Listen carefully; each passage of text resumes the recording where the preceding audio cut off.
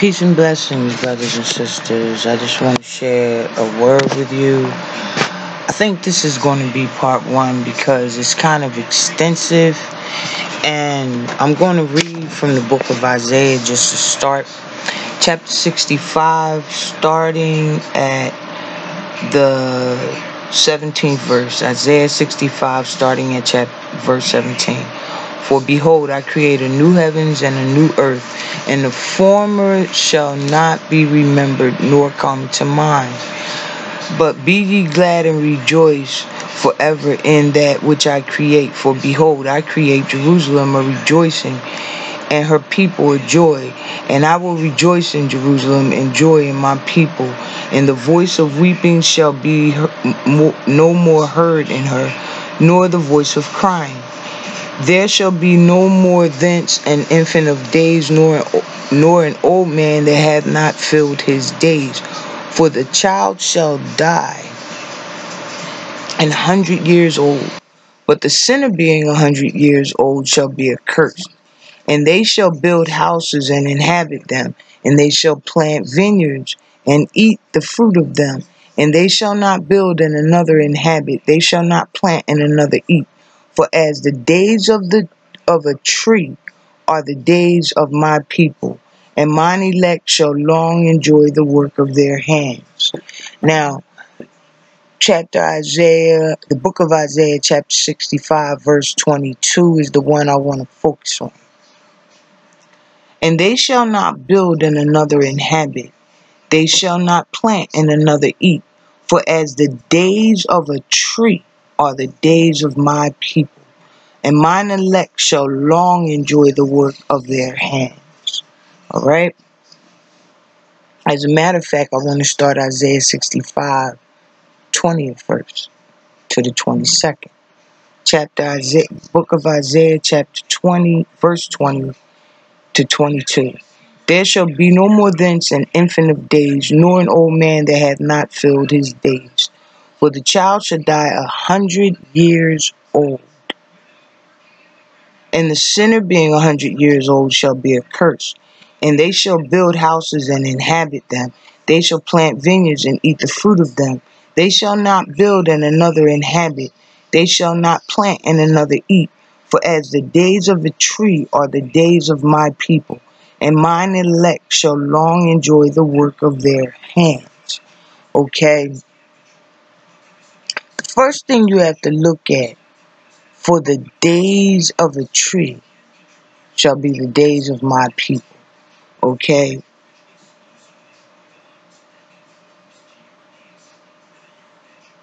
They shall not build and another inhabit. They shall not plant and another eat. For as the days of a tree are the days of my people. For as the days of a tree are the days of my people. You have cedars, you have pine, you have different trees that can live anywhere from 500 to well over a thousand years. A thousand years. Book of Isaiah, chapter 65, verse 22. For as the days of a tree are the days of my people, for as the days of a tree are the days of my people. This is when God is talking about coming and restoring Israel and Judah and putting us in our own land. As the days of a tree are the days of my people. A child shall die a hundred years old. A child. Okay? So, I'm reading this and saying this to connect it to the thousand year reign. The thousand year reign of Jesus, Yeshua HaMashiach. The thousand year reign. Okay? For as the days of a tree are the days of my people, mine elect shall enjoy the work of their hands. When it speaks about they shall build a house and inhabit it, they shall plant and eat, another shall not enjoy the work of their hands. When you think of houses, the length of time that a house can stand, it's telling you that when we return home, our longevity is going to change. Our longevity is going to change. For as the days of a tree are the days of my people. All right. Israel never got to dwell in the totality of the land. The covenant was not completely fulfilled. There is a last portion of that covenant. That thousand year reign is the fulfillment of that covenant. It happens before judgment.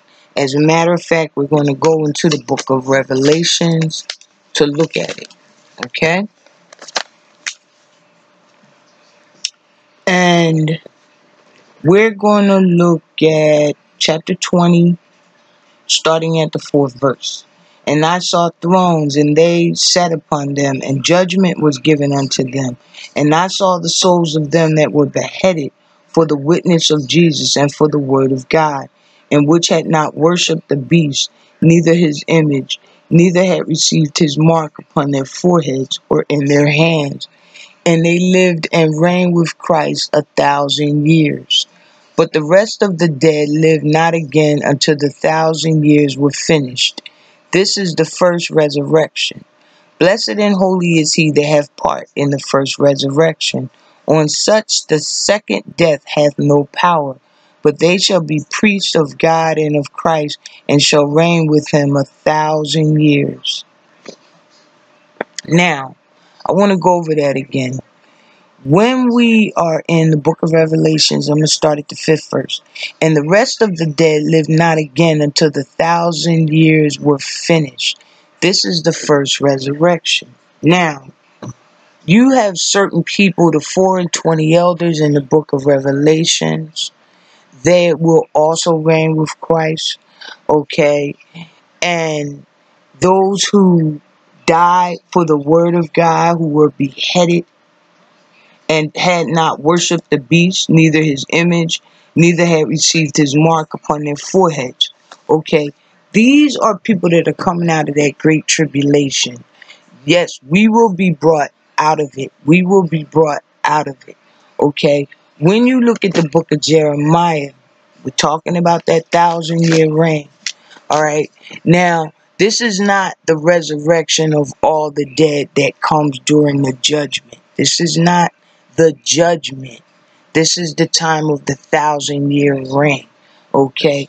But what is happening with Israel and Judah? What is happening? Let's go to Jeremiah first to find Israel. What is happening with Israel? Okay? First of all, we're going to start with who Israel is to God and who God is or Yeshua HaMashiach is to Israel, Israel and Judah. Now, one of the things, although I was a husband unto them, saith the Lord, the Lord was a husband unto Israel and Judah, unto Israel and Judah. We know that the reason we went into our captivity is because our ancestors sinned against God. They broke the covenant. And one of the things uh, that would happen to us was that we would go into captivity. Okay? But we also know that God is going to come and get Israel. He is going to restore Israel. But, and I'm in uh, chapter 31, verse 33. But this shall be the covenant that I will make with the house of Israel after those days, saith the Lord, I will put my law in their inward parts and write them in their hearts, and I will be their God, and they shall be my people. And they shall teach no more every man his neighbor and every man his brother, saying, Know the Lord, for they shall all know me from the least of them unto the greatest, saith the Lord. For I will forgive their iniquity, and I remember their sin no more. Now, that thousand year reign, that thousand year reign. Okay. One second, let me get back to it. We're in the book of Revelations, chapter 20. We're going to chapter 20. Alright? Now, we have to remember in the book of Jeremiah, and I'm just going to name one, chapter 31, God recognizes that Israel and Judah, he was a husband to them. And the nation, he was married to them. But they broke the covenant. They uh, committed fornication. Fornication meaning going after other gods, other ways. All right. Now, so when we hear about this marriage, there's a marriage coming. There is a marriage coming. Who is this marriage for? Who is this marriage for? All right. Wait a minute. Wait a minute. I got to find it. All right. Now we're in the book of Revelations, chapter 19. Okay. We're starting at the ninth verse. Matter of fact, we're going to start at the fifth verse. And a voice came out of the throne saying, Praise our God, all ye his servants, and ye that fear him, both small and great. And I heard, as it were, the voice of a great multitude, as the voice of many waters, and as the voice of mighty thundering, saying, Alleluia, for the Lord God omnipotent reigneth. Let us be glad and rejoice and give honor unto him, for the marriage of the Lamb is come, and his wife hath made herself ready. And to her was granted that she should be arrayed in fine linen, clean and white, for the linen is the righteousness of the saints. And he saith unto me, Right, blessed are they which are called unto the marriage supper of the Lamb. And he saith unto me, These are the true sayings of God. This marriage supper, this marriage supper, when God comes to get us, in the book, in the book of Revelations, chapter 19, I started at the fifth verse. The marriage, the marriage.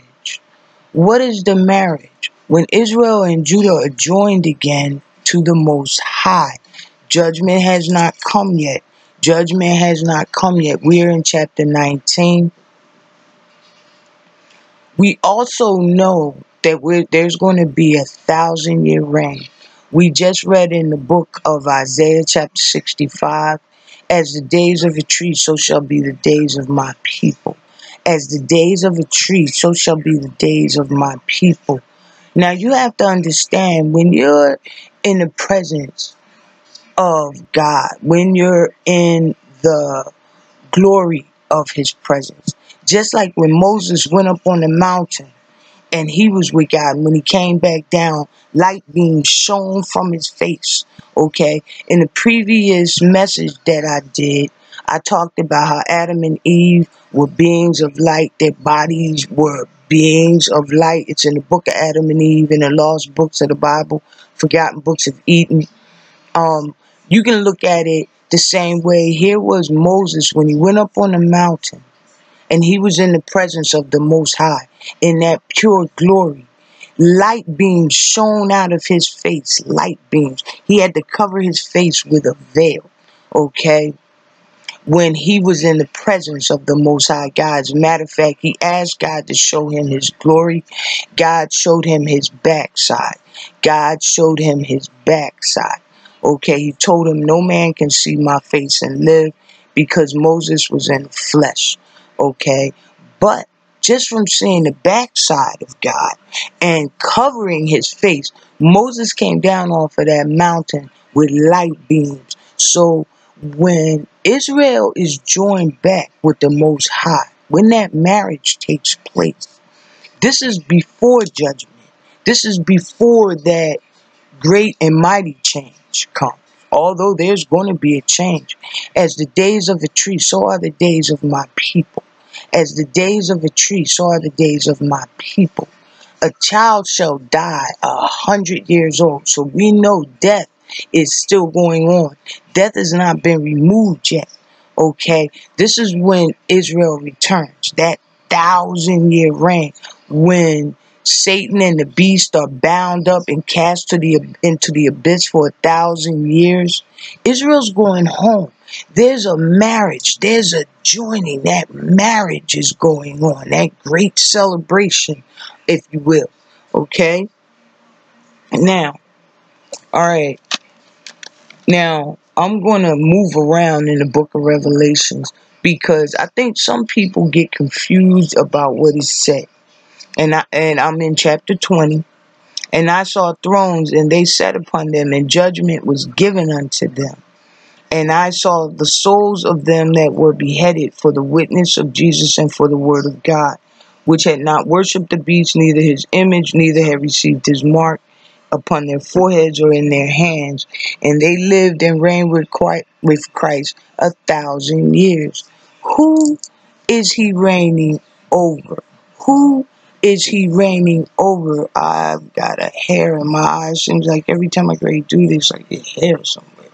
Um, who is he reigning over? He's reigning over Israel and the strangers that are among them. He's reigning over Israel.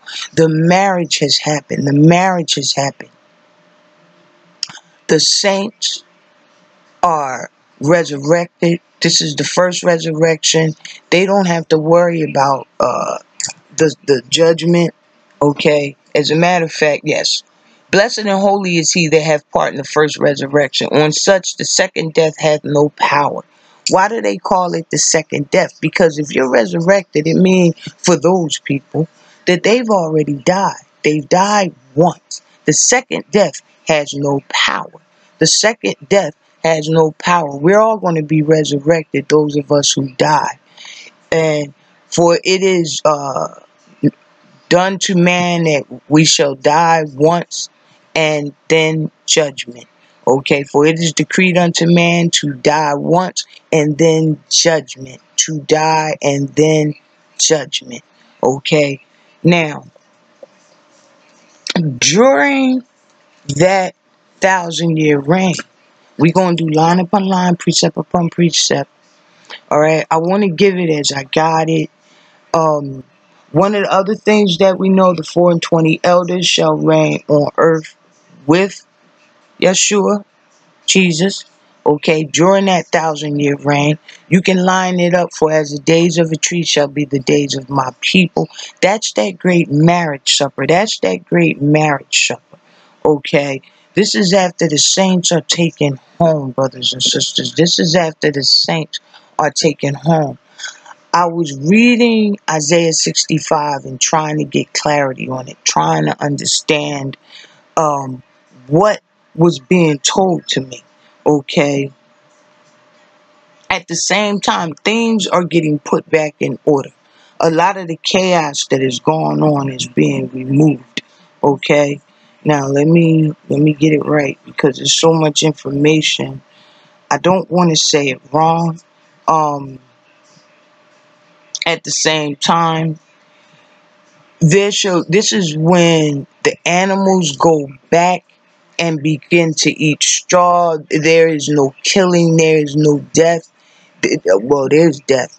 There is no terror, there's no fear on God's holy mountain, and we are being instructed. As a matter of fact, he says that he shall rule them with a rod of iron. Why is it called a rod of iron?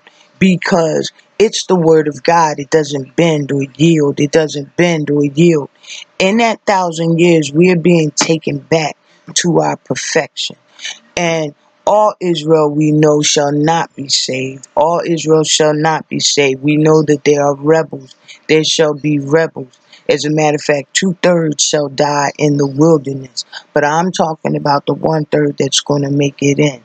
And we shall live and have children and have homes during that thousand year reign. How do we know that?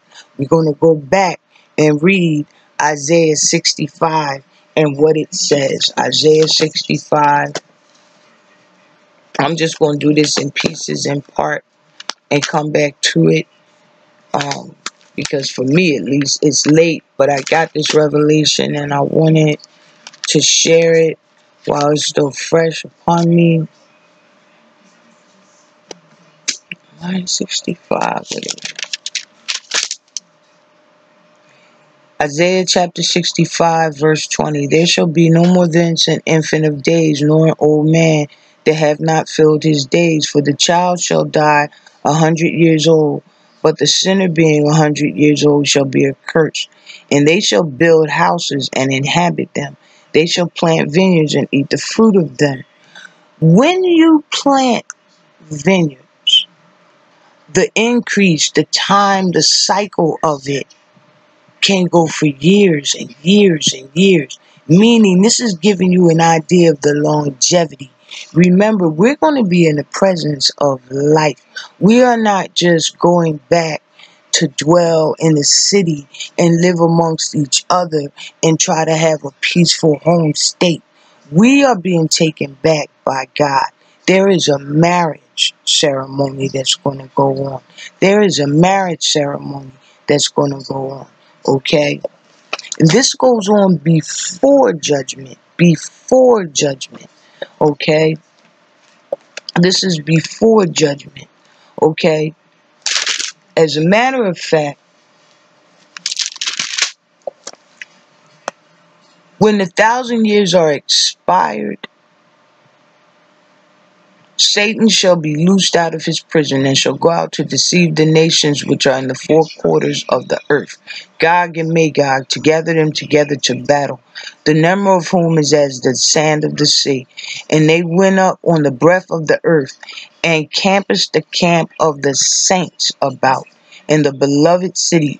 Now, before I get to the next, they they they encamped around the city of the saints. They went up on the breath of the earth and compassed the camp of the saints about in the beloved city, and fire came down from God out of heaven and devoured them. The city, the city where the saints are living, the saints are there. A thousand year reign. When the time is up, Satan, the beast, his army, they're going to come up against the saints. So you know it's Israel and Judah. It's Israel and Judah. Remember, line upon line, precept upon precept, here a little, there a little. Okay. By now, the marriage has gone on. We're married to God. We're married to His Word. We are married to it. He's ruling us with a rod of iron. What does that mean? His Word. The word of God goes out, does not come back void, does exactly what he purposed it to do. As a matter of fact, we also know that God is the same today, yesterday, and forevermore. So that word doesn't bend, it doesn't break. It's a rod of iron. Okay. And we're under that rulership being taught. We're being brought up in the spirit. We're being, uh, our fallow ground is being broken up. What fallow ground? There's certain things in the spirit that we need to know. We're learning the spirit. We're we we're amongst him. He's amongst us. That thousand years, that thousand years. It is not like anything we could imagine where we are now. It's not just the Spirit of the Lord taking us into another country, brothers and sisters. No, it's not. It's not us just going and finding out where is our homeland. No, it's deeper. It, it, it's it's closer. It's it's so much stronger. It's beyond anything we could ever hope or imagine. It is a thousand years, and many of us. We're talking about living the ages of, of the ancients we're talking about living the years of the ancients. Some people may live six, seven hundred years, eight hundred years, five hundred years. Now remember what it said: a child shall die a hundred years old. So at a hundred, a child would still be considered a child after 100 years we're entering into that eternal realm and we're not even there yet but we're entering into that eternal realm. A child to die a hundred years old. We also know death the last enemy has not been put down yet. I wanted to get a little bit more of this written down because there's a whole lot and this portion of it's on my spirit. I wanted to bring it to you as the spirit brought it to me. Um, but the book of Isaiah, as the years of the tree shall be the years of my people. As the years of the tree shall be the years of my people. Now, if you look up how long some trees last, you, you got trees that, that supposedly go thousands, excuse me, thousands of years. I know there are trees right here in America that were here when the colonizing invaders came. Okay, and that's well over 400 years. And the trees were considered old when they arrived. They were considered old when they arrived. Um, I'm definitely going to come back to this. I want to talk about the thousand year reign. All right. Um, blessed and holy is he that have part in the first resurrection. Now, for those of us who die before the Spirit of the Lord comes back and gets us, definitely you are blessed because you have no part, no fear in the second death. The second death is that complete death, okay?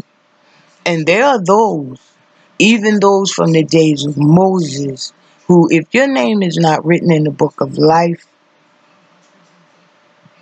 the book of God, you're going to take part in that second death. There were those who during the time of Moses in the book of Exodus, chapter 35, I believe it's chapter 35, when there were people who urged Aaron to make that golden calf.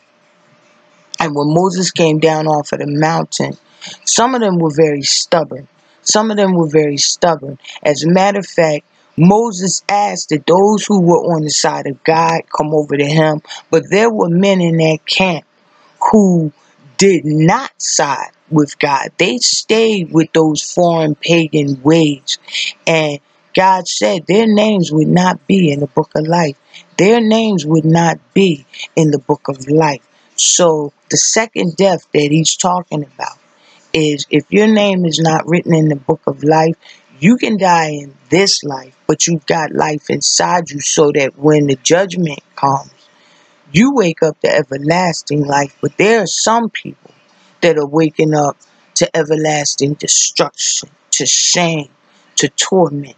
Okay, their names are not written in the book of life.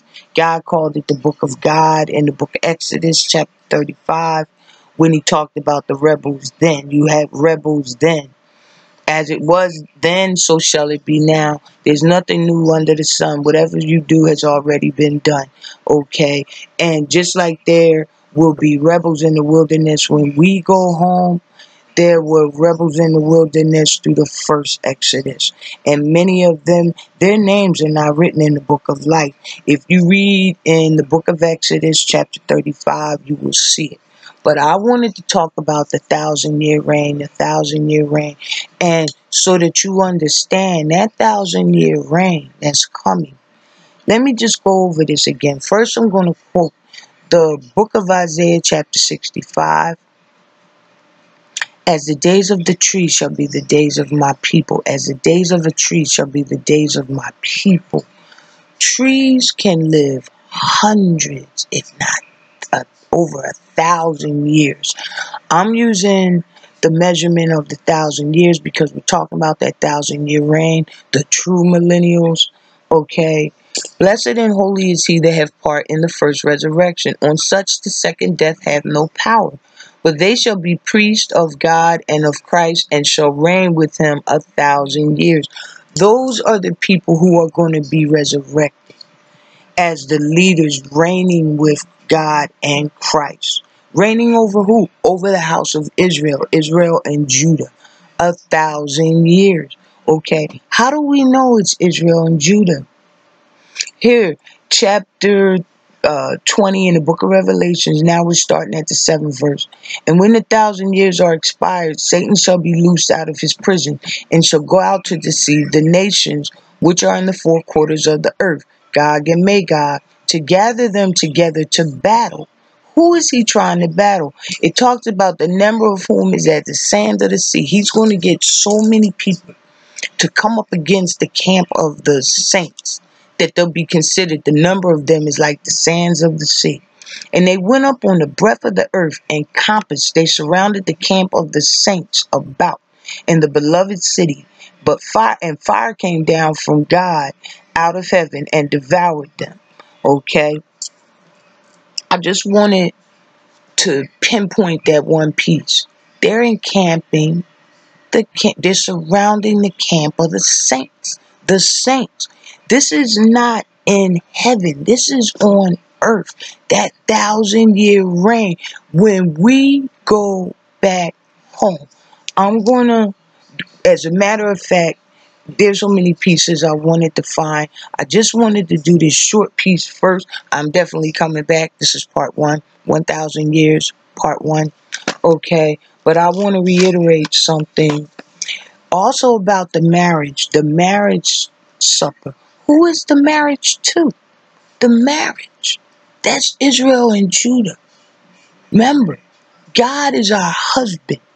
How do we know that? You go to the to chapter 31. It's written throughout the Bible. It's written throughout the Bible, but I'm just going to pinpoint one easy access for you to find it. In chapter 31, book of Jeremiah, you will see God is our husband. Israel and Judah are his wife. He he's married to us. That's why when the spirit of the Lord is talking about fornication, he's talking about uh, Israel and Judah marrying or or or dealing with those no gods, those false gods that aren't gods. We have the true God, great and terrible. Jealous is his name. He is a jealous God. Jealous is his name. Just like a husband, just like a husband, if another man tries to or does uh, have relations with his wife, jealousy is the rage of a husband. There is no gift that will turn away his wrath. Okay? Now, we're going to go to the book of Isaiah chapter 65. This was the first thing that caught my attention when I was trying to just get a revelation on it. But I want to read the whole piece to you real quick before I end this part one because there's a lot to support this. There's a, a, lot. We're going to start Isaiah chapter 65, verse 20. There shall be no more thence an infant of days, nor an old man that hath not filled his days. For the child shall die a hundred years old. But the sinner being a hundred years old shall be accursed and they shall build houses and inhabit them. Now you got to understand the depths of what they're saying. They shall build houses and inhabit them. We can build a house and we assume, okay, you know, you live so long and you die off and somebody else lives in it. No, you build the house, you're going to exist just as long as that house does you're going to exist. Your days, your years will be just as great as the days and the years that house can stand. That that house will stand on its foundation. Okay? And they shall plant vineyards and eat the fruit of them. No, this isn't just based on okay, you you you're not going to plant and another eat. No, you're going to plant it and as long as that fruit is producing fruit, you're going to be the eater of it as long as you choose to eat it because you're going to live long enough. Okay? They shall not build and another inhabit. They shall not plant and another eat. For as the days of a tree are the days of my people, and mine elect shall long enjoy the work of their hands. Thousand year reign, thousand year reign, brothers and sisters for those of us who make it through the tribulation, for those of us who cross over, we're looking at a thousand year reign before judgment so that all the prophecies and the covenants can be fulfilled so that the pro- and the marriage of the lamb the marriage the marriage has to take place. When we go home we're going home to a wedding ceremony we're going home to a marriage. We are marrying our God, the one true God who is God. There is a marriage ceremony coming, brothers and sisters. We're not only going back to our land. It really, at this point, it's hard to imagine what it'll look like, what it'll be like. We're going to have to build up the ruined places. We know that. But Yeshua HaMashiach is going to be there. We're going to have that perfect rule, that perfect law. You be blessed, brothers and sisters. I wanted to share this piece with you. As a matter of fact, I'm going to bring part two because there's a lot of other pieces to support it with. It's late and I'm just a little tired. But the part that he was giving me, I was writing other pieces down. I wanted to give you a thousand years as the days of a tree shall be the days of my people. And there's a marriage coming, brothers and sisters. This awakening, as we awaken, there's a marriage coming. God is our husband. He's coming back for his bride, for his wife. Israel, Judah. We belong to the Most High, and He's coming back for us. He's coming back for us. Those of us that make it through that tribulation, okay? And yes, those who are going to be resurrected, those are those wise ancients, the leaders of the people, the leaders of the people, okay? The four and twenty elders. We know those are the heads of the tribes of uh, Israel. We also know that they are the apostles, but you also have the prophets, the judges of old, many of the saints of old, many of them who had fire in them for the word of God, fire for the spirit of the most high God, fire for the truth, fire for the Holy Spirit. All praise, honor, glory, and blessings unto the most high God, Father, Son, Holy Spirit. I ask, Father, that you touch us, that you keep us, that you open our eyes, that you raise us up together, that we have one mind, one heart, one spirit, giving all praise, honor, and glory unto the one true God who is God. And thy name is jealous, thou art a jealous God. We'll have no other God before thee, for thou art God. And we want to thank you this day. And thank you, God, for my family. Praise, honor, and glory unto the Most High God in the name of Yeshua HaMashiach, and honor and glory to the Holy Spirit. Amen. Brothers and sisters, be at peace. This is part one. Shalom.